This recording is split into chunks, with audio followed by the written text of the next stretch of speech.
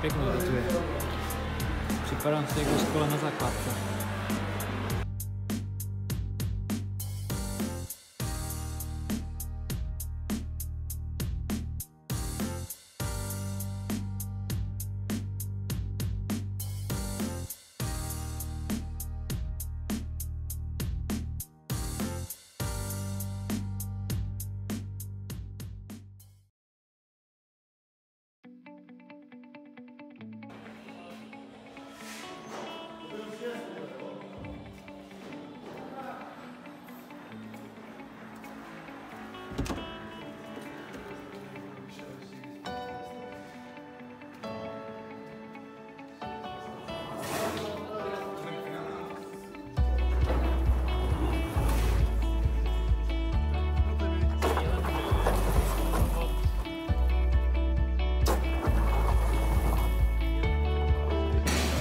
vole, sluší mi to.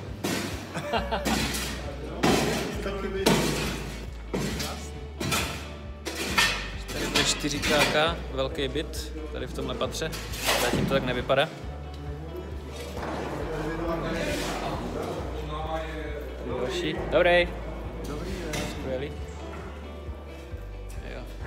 Tady 2 kákačko, tam 2 kákačko. Teď to tak nevypadá ale mají na to rok takže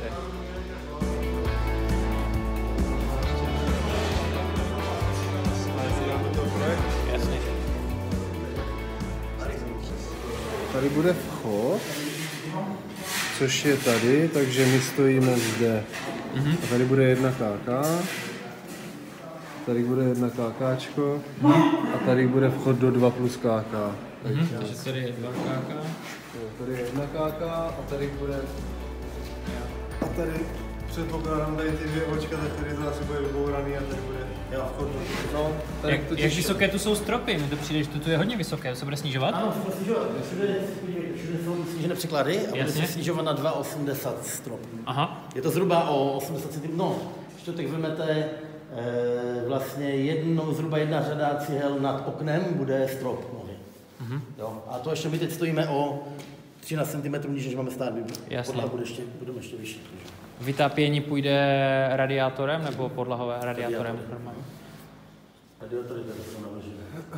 A každý byt bude, každý byt asi nebude mít svoje o- ohřev, že? Kotel. Ne, ne, to bude prostě centrální, dole cent- centrální. Dole centrální, dole je Jasný, centrální. jasný. A na nějaké odpočty.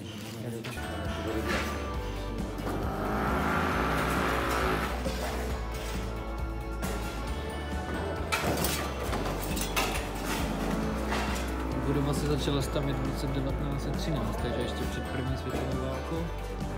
Jsme se tady doslechli. Bude tady výtah, takže na každém patře bude výtah, bude východ z výtahu, budou tady asi pár schody, začátek se tu nechá, nevím, dva, tři, čtyři schody, nebo tak nějak. A vzadu je potom tělocvična ještě a ta škola měla svoje vlastní divadlo. Když tady je tělocvična a nahoře o patra výš, dvě patra výš měla škola ještě vlastní divadlo. Zajímavá stavba.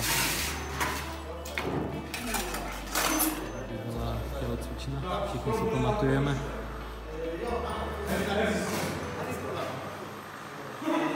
A šplhání. Zářivky zasíťované.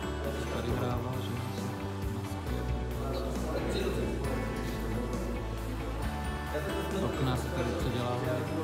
90 metrový byt, 4 KK. Tady bude. Teď to nevypadá, ale myslím si, že když tu přijdeme za pár měsíců, tak to bude vypadat úplně jinak. Ten už je prodaný? Ještě není. Čeká na kopce. Krásný zahrádka, jsme teďka na přízemí. Tohle bude pecka byt.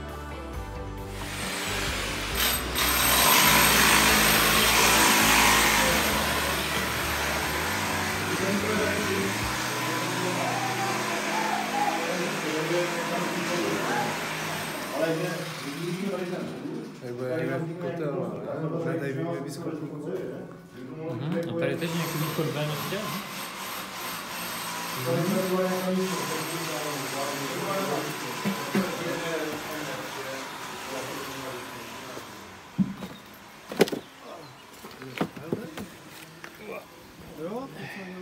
Jo, tady je východ ven.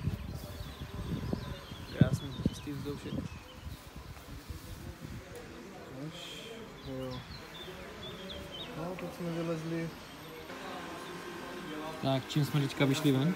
Tak tady asi 14-15 sklepníků jsme teďka vyšli ven. Jo, na zahradu. Na, Kle, přes sklepní koj. na zahradu.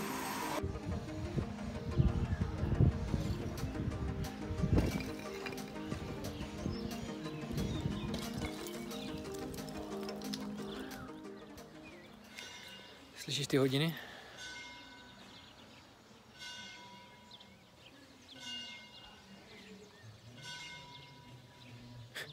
Hodiny tady zůstanou, ale ten zvonec půjde pryč. Hodiny jsou pěkné, místní jsou na ně hrdí, nedivím se, jsou krásné, starodávné, akorát se tady nedá bydlet potom v té budově. Takže zvonec půjde pryč. Jinak je tady super ticho, je to úplně špice. Na to, že jsme tady sjeli vlastně z dálnice, tak eh, to je úplně klid. Ptáčci tady, ticho, potůček, šumění stromů, jo. Úplně bomba. Já teď tady obcházím tu stavbu ve svých opět skvělých uh, botech. Vždycky se rád producíruju botech uh, po stavbě v bahně, které se na to absolutně nehodí. Ale co se dá dělat, jo. Špice.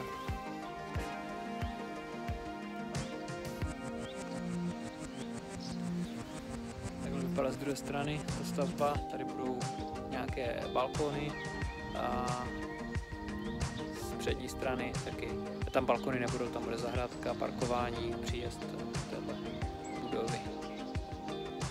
Jo, tady je ta tělocvična a nahoře tam mají to svoje divadlo. Docela unikát ve škole divadlo. A za mnou prostě klasika, vidí bydlí, klid, pohoda, vesnice, pohodový život.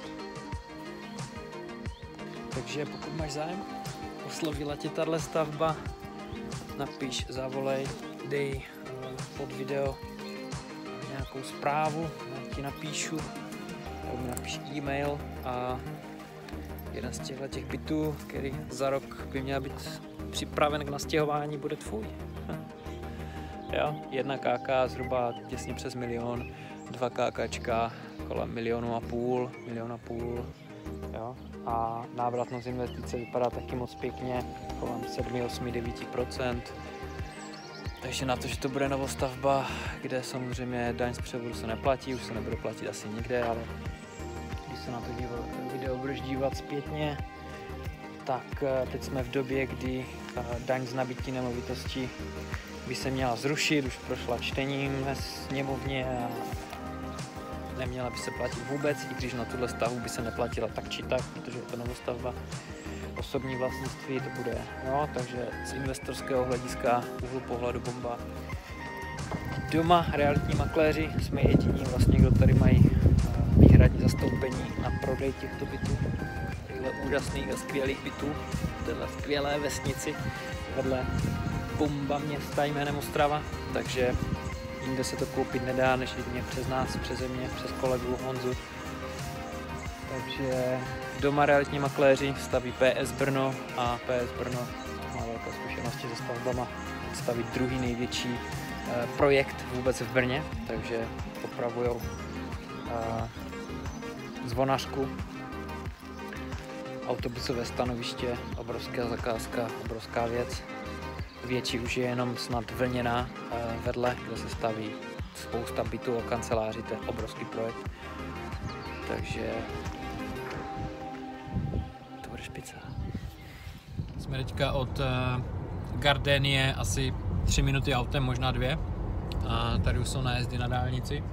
Takže nájezd eh, na Brno, nájezd na Ostravu.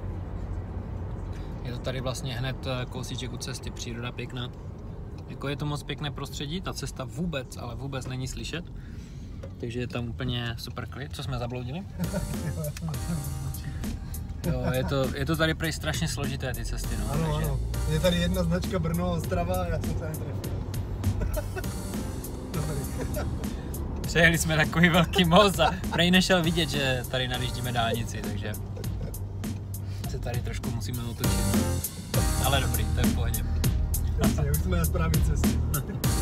jo, nájezd na dálnici, takže je úplně super. Tři minutky, jo. Na pár minut člověk fakt eh, v Ostravě, anebo na druhou stranu je.